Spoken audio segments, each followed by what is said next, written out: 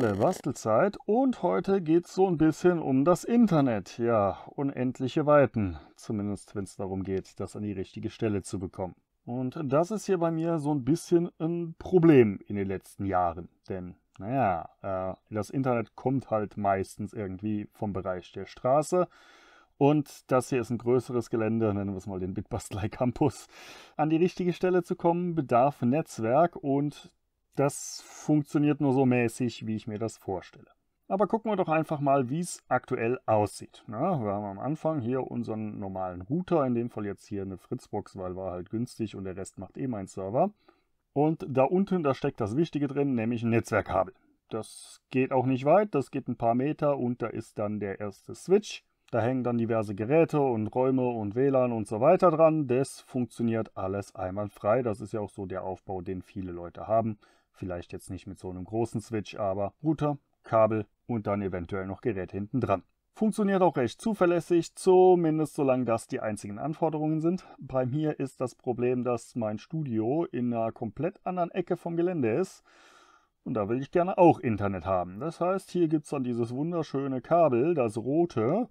Das geht dann hier um die Ecke, geht hier in den Kabelschacht rein, kommt dann irgendwo wieder raus, geht durch ein paar Rohre, geht durch ein paar Wände und kommt dann im komplett anderen Bereich hier auf diesem Patch-Panel an. Das ist rein passiv, das ist nur, dass ich hier nochmal in andere Gebäudeteile verteilen kann und von da aus geht es dann wieder weiter in dieses Rohr.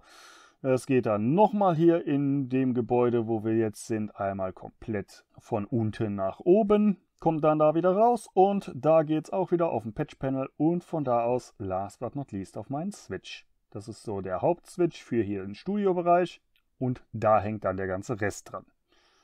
Und genau dieses ist mein Problem. Denn, ähm, naja, wir haben jetzt quasi eine direkte Verbindung zwischen dem Switch, den wir eben gesehen haben, am Eingang und hier diesen Switch. Strecke, ich glaube, das müssten so 30 Meter vielleicht sein, äh, ist weit unter den 100 Metern, die so ein Ethernet-Kabel theoretisch kann, aber halt auch leider nur theoretisch. Denn bei mir kommt es ständig zu sowas hier. 100 Mbit, äh, das sind 2 Gigabit Switches, die Leitung kann Gigabit, sollte eigentlich nicht so sein. Und die 100 Mbit sind auch nicht das einzige. Es äh, ist teilweise dann auch wirklich so, dass gar keine Pakete mehr durchgehen, Paketverlust ist. Und das ist natürlich dann für Internetgenuss eher schlecht. So, normalerweise deutet das darauf hin, dass irgendwo was mit einem Kabel nicht stimmt, aber ich habe sämtliche Strecken hier durchgemessen, habe die Dämpfungen gemessen und da ist eigentlich alles in Ordnung. Meine nächste Idee war, dass es ein Problem mit der Stromversorgung gibt. Ethernet-Kabel, die wir hier in Europa verlegen, sind häufig ja geschirmt. Das heißt, wir haben so einen Metallschirm. Und es kann passieren, dass über den Metallschirm Ausgleichsströme fließen, wenn die Gebäude nicht sauber geerdet sind. Ist hier aber der Fall. Ich habe nachgemessen, da ist nichts, was irgendwie an Strom drüber geht. Also das dürfte nicht unser Problem sein. Was ich auch geguckt hatte, ist einer der Switche, der hängt an meinem Solarsystem, das eventuell von da PWM reinstreut. Dachte, das wäre ein Problem, aber wenn ich mir die Power Rails von dem Switch angucke, da ist nichts von PWM zu sehen und ich habe auch zur Sicherheit mal das Ding nochmal als Stromnetz gehangen. Hat genau dieselben Fehler verursacht. Das letzte, was mir jetzt noch als Idee bleiben würde, was den Fehler auslösen könnte, sind Störungen von außen. Äh, wie gesagt, das läuft hier einmal quer durch ein Gebäude und da ist jede Menge Zeug irgendwie in der Nähe von diesem Kabelschacht oder dem, dem Leerrohr. Da sind Mikrowellen, da sind irgendwelche Funktelefongedönses und vor allen Dingen hier diese, ja, die Röhren sind immer noch nicht ausgestorben. Und gerade die Röhren machen halt mit ihren Drosseln doch teilweise ziemliche Magnetfelder, also da könnte durchaus mal was einkoppeln. Und so Strahlung von außen klingt dann auch realistisch, weil dieser Fehler mit den 100 Mbit, naja, der tritt halt immer mal wieder sporadisch auf und wenn ich neu starte die Strecke, dann klappt es wieder für eine Zeit. Ah, alles nicht so dolle. Tja, was nu, guter Rat ist teuer. Ich habe dann mal versucht, bei dem Patch-Panel, was wir zwischendrin hatten, dem rein passiven, noch einen Switch dazwischen zu machen. Das bessert die Lage. Kürzere Strecke heißt, dass ein Switch auch mehr Reserven hat, um Störungen rauszufiltern. Aber äh, eigentlich will ich an der Stelle keinen Switch und er braucht Strom und äh, äh, muss nicht sein. Aber ist euch was aufgefallen? Alle diese Störungen, die ich jetzt beschrieben habe, sind welche, die magnetisch oder elektrisch bedingt sind. Hatten wir da nicht letztes so ein Video, dass es irgendwie sowas für Datenübertragung gibt, was diese ganzen Probleme löst und ohnehin viel schneller, schöner und besser ist?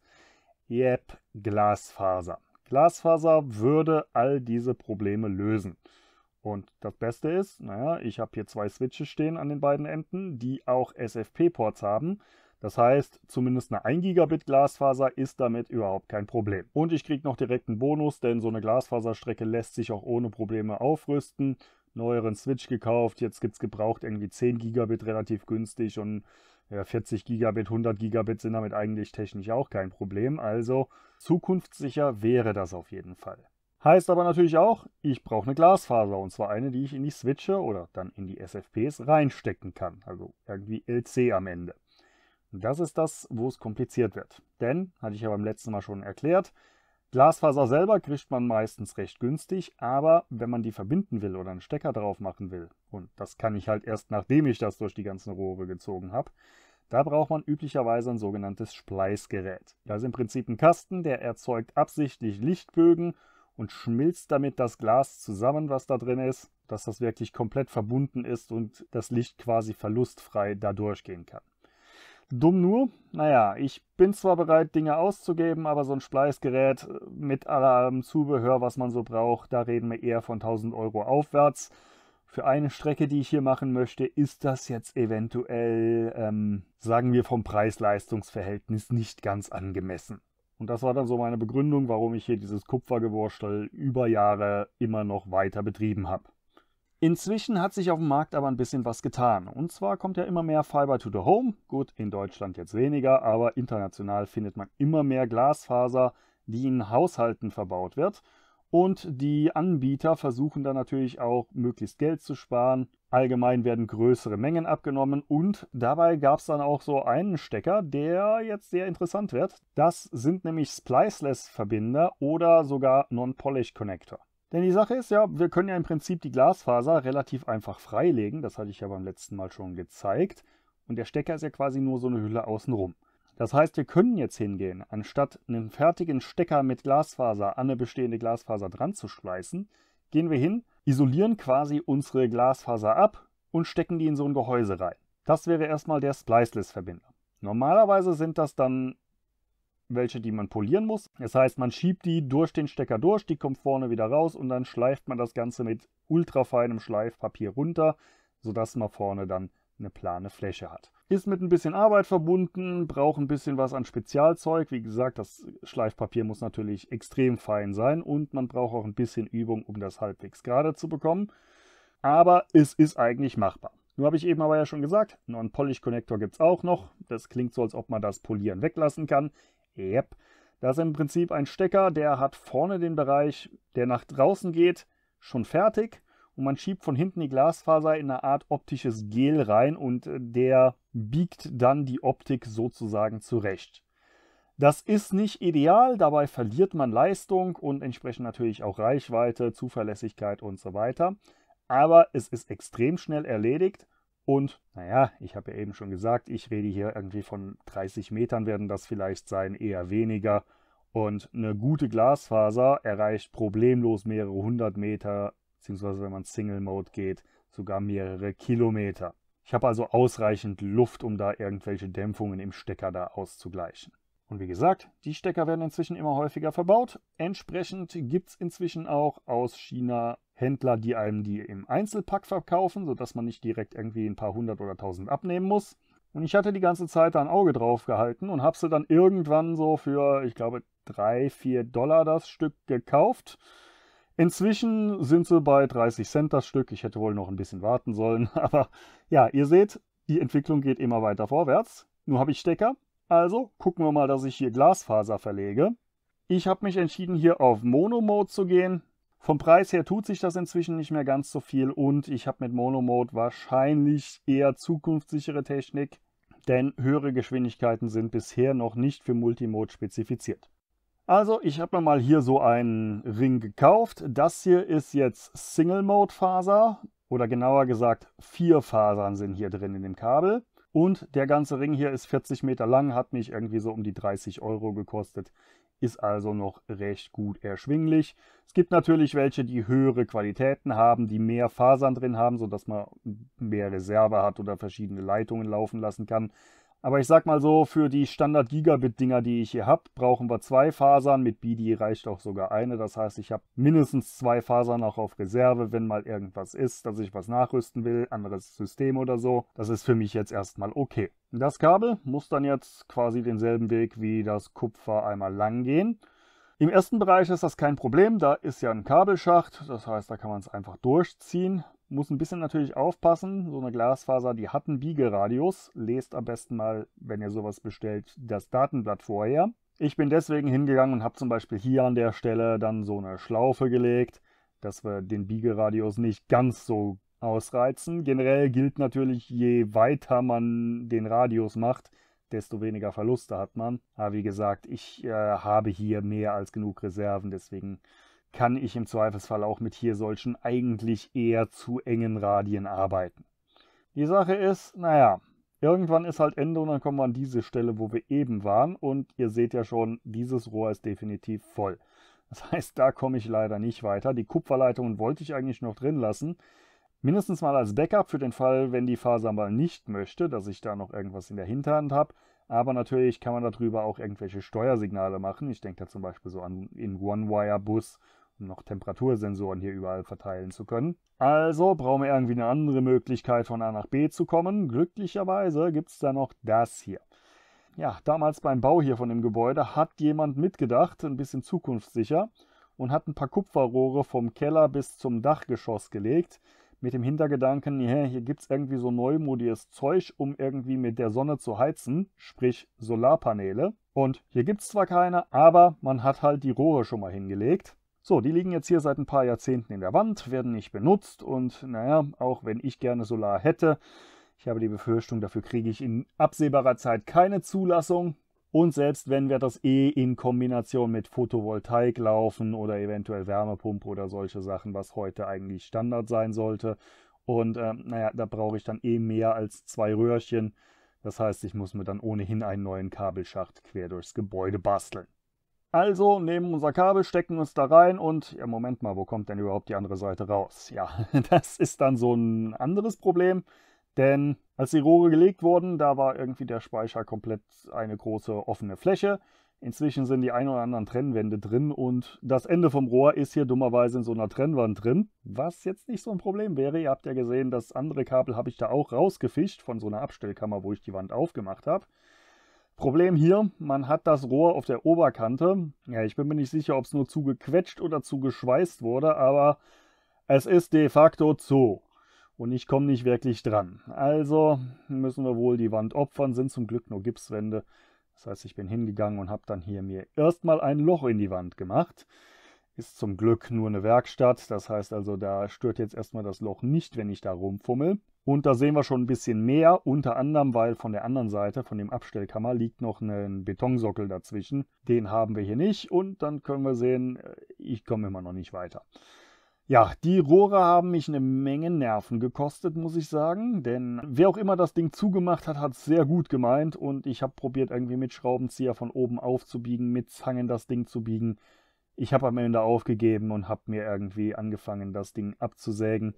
Das heißt also oben den Bereich, der zusammengedrückt ist, einmal weggesäbelt. Das Rohr ist zwar jetzt reichlich kurz, äh, viel weiter runter sollte es nicht gehen, ansonsten muss ich den Fußboden fürs nächste Mal aufmachen, aber naja, äh, das hier sollte auf jeden Fall reichen und ja, dann ging es ans große Ziehen. Also einmal Zugdraht durch, der kommt zum Glück am anderen Ende raus. Ich habe also das richtige Rohr erwischt, das ist schon mal sehr vorteilhaft. Und äh, ja, dann irgendwie die Glasfaser so hinlegen, dass sie sich abwickeln kann versuchen das Ganze da reinzuziehen. Wie ihr seht, ich habe das hier kombiniert. Ich habe in einem noch ein bisschen Koax gezogen.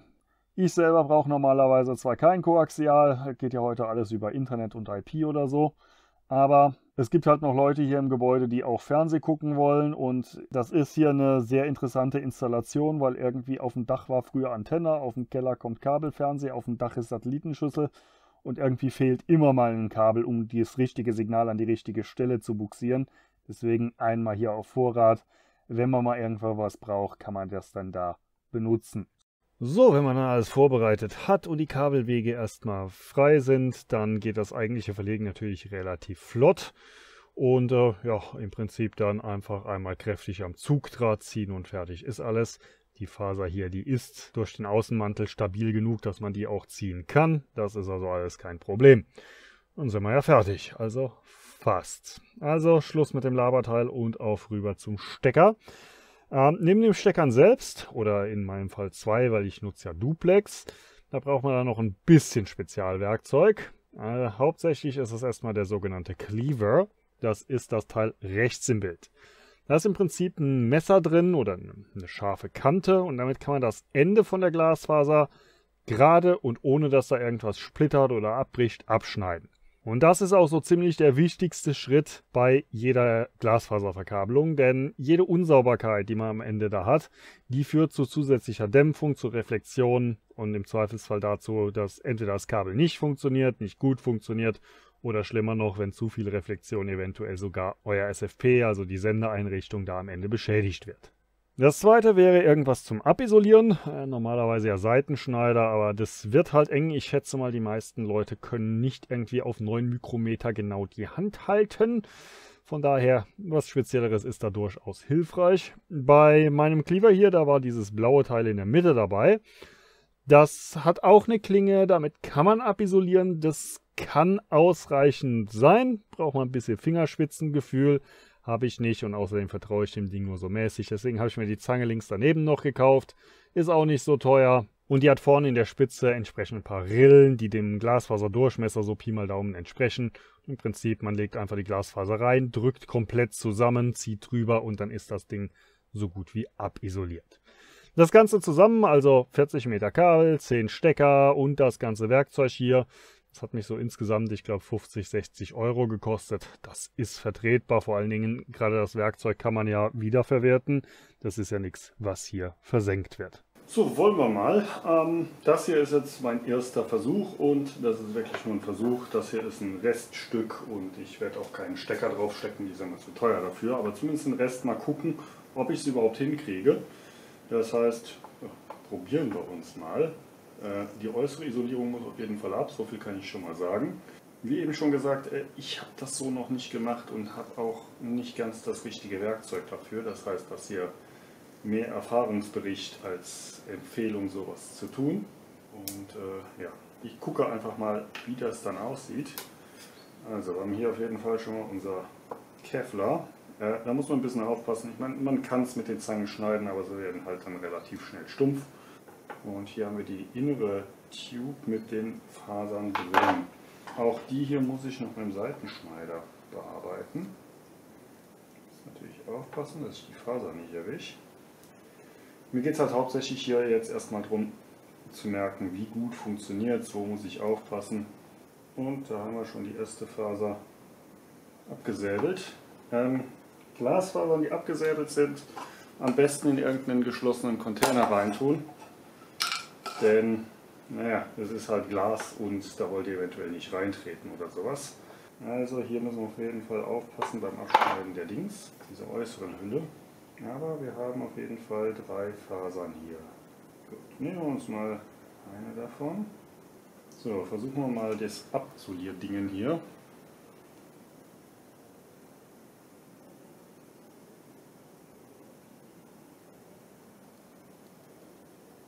Das sieht gut aus. Der isoliert tatsächlich ab. Dann probieren wir noch unser komisches Schneidgerät Gedönses. So. Äh, hier eine Klappe. Dann legen wir das hier an. Wo gehört denn die Faser rein? Da. Jetzt gucken wir das mal. Na gut. Zu, schneiden, auf und ja, ist es ab.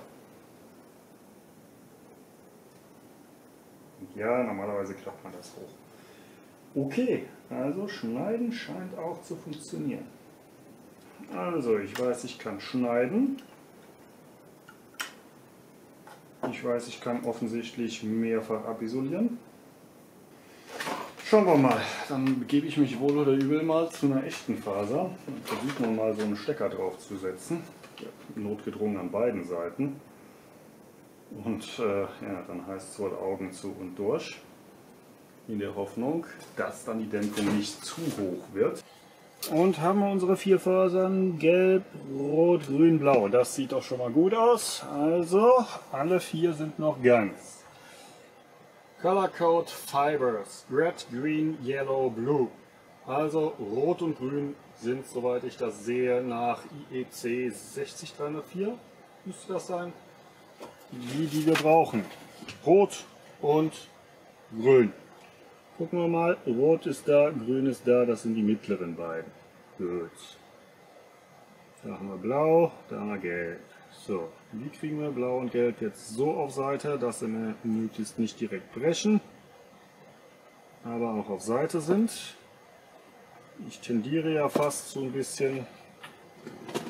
Äh, ja, kleben ist auch Mist. Wenn ich es auf Seite klebe, dann habe ich direkt das nächste Problem, dann kriege ich es nämlich nicht mehr hoch für zu schneiden. Naja gut, äh, wir wollen 45 mm abisolieren.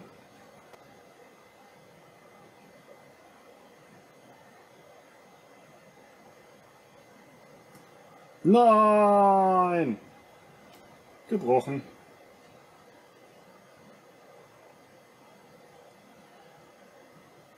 Jetzt Netztreise ist worden wir es grün. Gerade halten. Das sieht prinzipiell erstmal besser aus. Okay, grün haben wir. Was wäre denn die nächste? Gelb und blau. Äh, probieren wir es mal mit gelb. Und am Ende, solange ich es dokumentiere, ist mir das jetzt hier für zu Hause egal.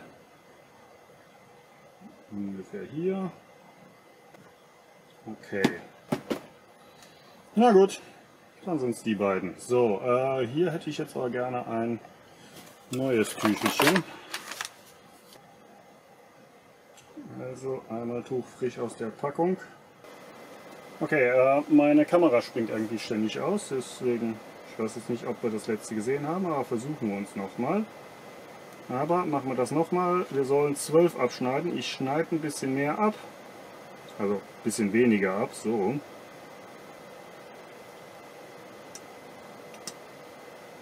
Und zack.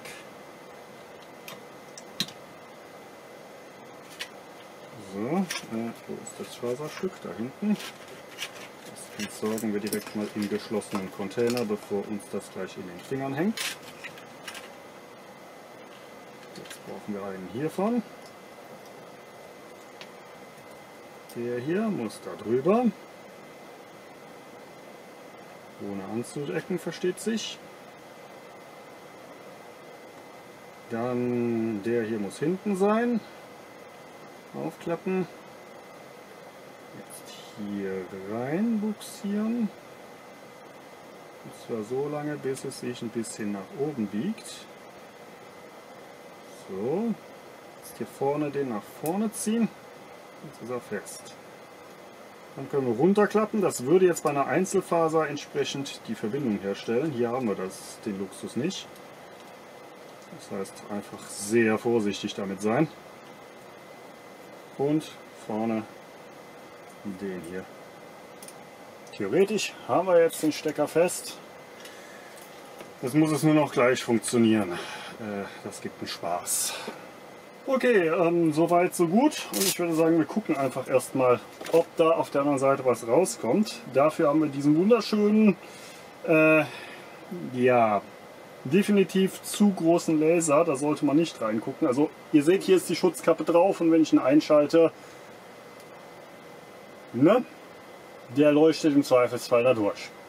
Und ja, der hat schon den richtigen Dings. Ich mache jetzt die Stecker mal nicht sauber, ich hoffe einfach, sie sind sauber genug. Das hier ist ja auch kein Transceiver. Also rein damit. Wir sehen hier schon, die Faser leuchtet hier außen rum schon. Okay, so müsste das gehen. Dann schauen wir mal auf der anderen Seite, ob da was an Bild kommt. Äh, Signal. Und einmal quer über das ganze Gelände zum anderen Ende der Faser. Da habe ich auch schon die Stecker drauf gemacht. Und ähm, ja, ich glaube, das Bild hier soll uns sagen, offensichtlich kommt das Licht durch. Die Schutzkappe leuchtet durch. Also oh, sieht schon mal soweit ganz gut aus. Habe das Ganze natürlich dann auch mit der anderen Faser nochmal durchgeführt. Und selbes Ergebnis, also offensichtlich kommt zumindest schon mal Licht von A nach B und äh, ja, wir haben sie zumindest nicht komplett kaputt gemacht. Und ja, für den ersten Versuch würde ich sagen, ist doch schon mal ein Anfang. So, bevor ich jetzt aber weitermache, erstmal noch ein bisschen Verstärkung hier. Ich äh, werde einfach hier ein bisschen ein Quadrat Kupferdraht mit dran machen, sodass das Ding ein bisschen starrer wird und nicht hier die Glasfasern mehr als nötig geknickt werden. Ich meine, ein bisschen muss ich sie wahrscheinlich knicken. Wenn wir hier gucken, so ganz nebeneinander passt das nicht. So, das heißt der hier so drüber. Und was ich noch holen werde, hier habe ich irgendwo schon ein passendes Dingensen. Und zwar ist das hier so eine Buchse-Buchse-Adapter. Den hier hinmachen. Dann können wir die hier reinstecken die schon mal halbwegs an einer Position, wo es hoffentlich nicht mehr so viel wackelt. Ja. Und da tapen wir das dann jetzt schön dran.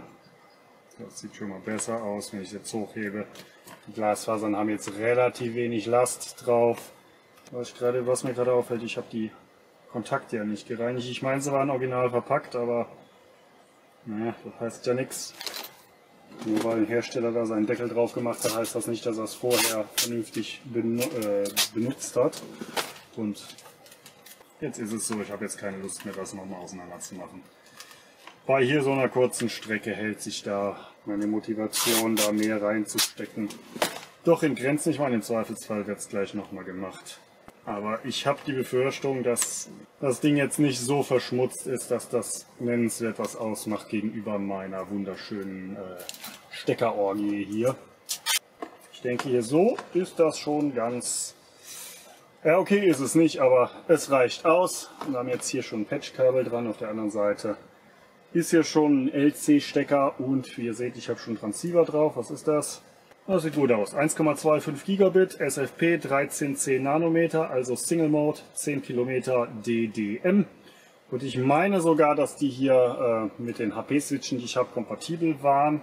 Die hatte ich mir, glaube ich, extra hier für das Projekt gekauft gehabt. Das müssten die sein. Ist jetzt kein Original HP, aber äh, die sind zumindest so weit gebastelt in der Firmware von dem Teil hier, dass der HP die erkennt und äh, sagt, ja, er passt schon. Ich muss mal gucken. Ich glaube, meine Switche können keine äh, Statistiken rausrücken, aber ja, ich klemme den hier jetzt erstmal hier an meinen SNC-Switch an, weil das ist der, der hier den Uplink spielen soll.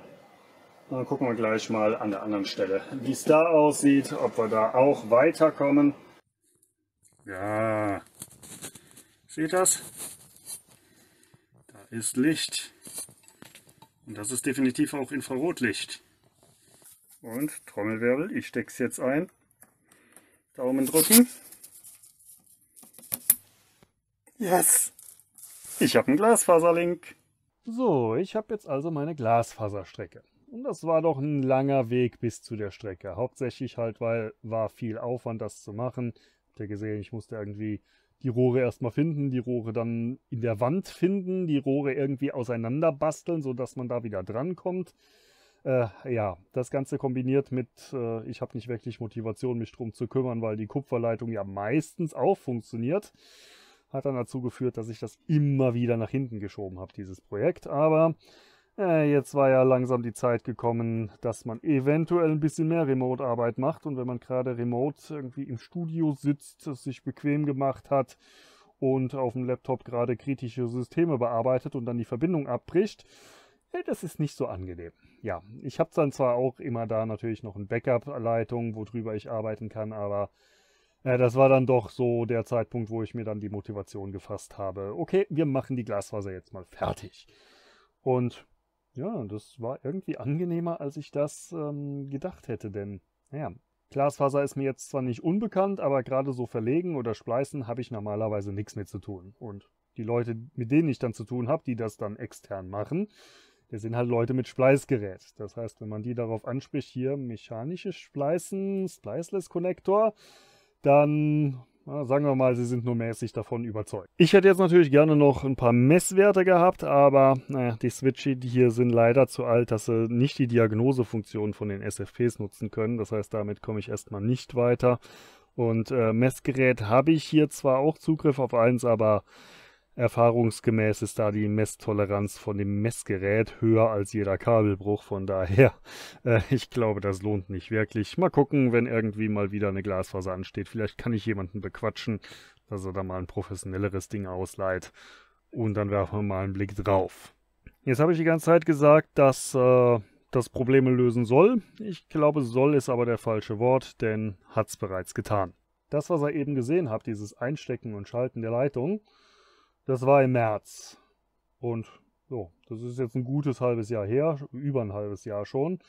Und seitdem hatte ich keinen einzigen Ausfall. Also offensichtlich können wir mit Fug und Recht sagen, dass die Stecker und hier die ganze Bastelei offensichtlich das tut, was es soll.